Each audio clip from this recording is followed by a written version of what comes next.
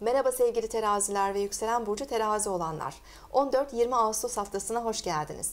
Sevgili teraziler, Güneş ve Mars Aslan Burcu'nda ilerliyor, Venüs Yengeç Burcu'nda ilerliyor ee, ve haritanızın e, üst bölgesinde, tepe bölgesindeki bu gezegen geçişleri şu dönemde sosyal hayatta toplum önünde biraz daha fazla dikkat çekebileceğinizi, öne çıkabileceğinizi işaret ediyor.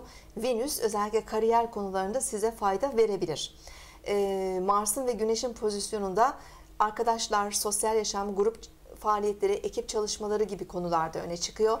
Ee, bu hafta içerisinde özellikle ay geçişleriyle beraber e, siz de biraz daha böyle sosyal yaşamınız, arkadaşlarınız, kariyerinizle ilgili konulara odaklanabilirsiniz. Bir yandan da Merkür Retrosu başladı.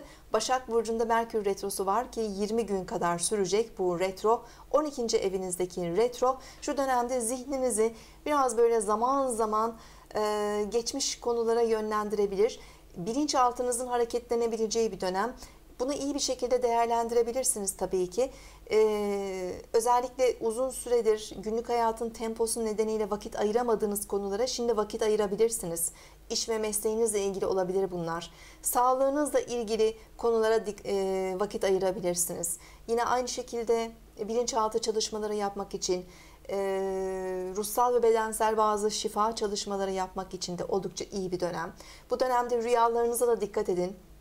Merkür Retrosu bilinç altınızdan gelecek e, mesajları da arttırabilir.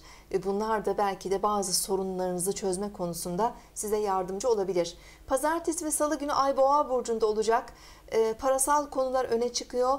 E, sizi sevindirecek bazı destekler de alabilirsiniz para anlamında. Bunun yanı sıra bazı kredi işlemleri, banka işlemleri ya da eşiniz ve eşinizin maddi durumuna ait bazı konularda gündemde olabilir. Çarşamba ve perşembe günleri Ay ikizler Burcu'nda daha keyifli olmanız mümkün. Seyahat etme isteğiniz artıyor. Artı e, seyahatte edebilirsiniz bugünlerde. Yolculuklar da gündemde olabilir. Ancak uzun mesafeli seyahatlerde özellikle yurt dışı seyahatlerinde, uçak yolculuklarında e, Merkür Retrosu'nu da göz önüne alırsak e, özellikle dikkatli olmakta fayda var. Yani unutkanlıklar olabilir, e, bazı karışıklıklar olabilir seyahatler sırasında yaşayabileceğiniz.